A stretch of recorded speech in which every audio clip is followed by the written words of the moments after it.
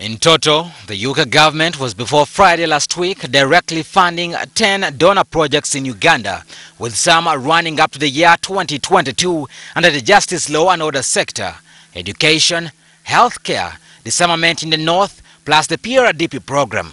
These had a total budget of 200 million pounds, totaling up to 132 trillion Ugandan shillings, with some of the highest catered for projects including the UN Joint Programme for Implementation of National Population Policy with 30 million pounds, increasing access to anti-malarial drugs which had 3.8 million pounds.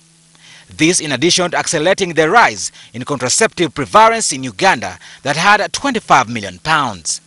Despite the fact that the cut of the UK aid will go down the flesh of several Ugandans, the civil society is divided about it, with some in support while others against it. If the money is being diverted to other causes which are not priorities, or it is being swindled by a few people and cannot assist in our social and economic transformation, there's, there's no reason why that money should continue to be sent to a few people who, who will only enrich themselves. Now, addressing the problem of corruption is not about cutting aid. Although cutting aid is something that is important for the donors to demonstrate their dissatisfaction, let's work on mechanisms of getting the thieves and then work on alternative models of delivering this aid. The total direct financial aid to Uganda planned for this financial year by the UK government was at 26.9 million pounds, but due to findings of the Auditor General's report in Uganda, UK chose to freeze the remaining 11 million pounds due to be paid before the end of March next year. Its stand was that unless the government of Uganda shows that UK taxpayers' money is going towards helping the poorest people lift themselves out of poverty, this aid will remain frozen and that UK would expect repayment plus considering criminal sanctions.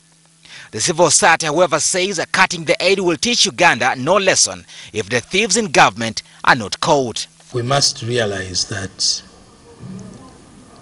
cutting aid in itself is an important instrument that uh, our partners have in terms of ensuring that the Uganda government uh, respects human rights.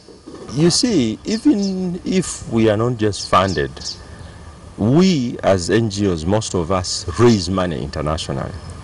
When global news goes out and they say there is a, crisis, a, a corruption scandal in Uganda, the people who don't stay in Uganda understand that all Ugandans are thieves.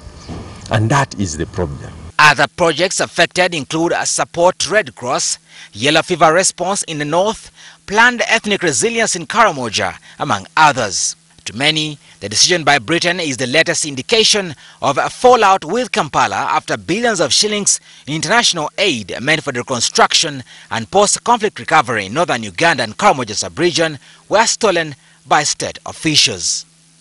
Kitale Moses, Lopez Television.